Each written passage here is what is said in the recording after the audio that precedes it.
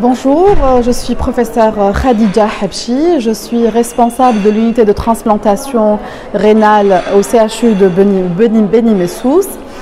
Je suis venue là donner cette interview euh, dans le, but de sensibiliser la population aux dons de reins.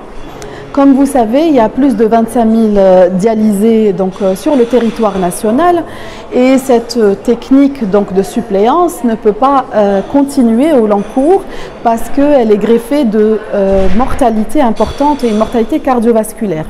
Donc, de ce fait, le meilleur, traitement pour nos malades insuffisants rénaux chroniques est la transplantation rénale. Dans ce sens, euh, nous avons en Algérie la particularité d'avoir des familles nombreuses, des familles assez volontaires, proches. Donc, euh, pourquoi pas sensibiliser euh, la population générale non malade à cet aspect donc, de traitement. donner un rein, c'est donner une seconde vie à nos patients.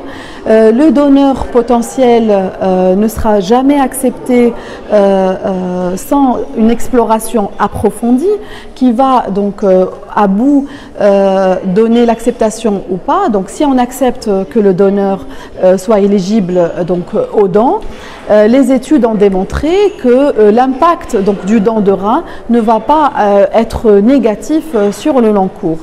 Donc voilà, je les incite à, connaître euh, euh, cet aspect du traitement afin de sauver, euh, des vies. On est là pour donc, tout, tout renseignement au niveau des hôpitaux et justement sur les réseaux sociaux.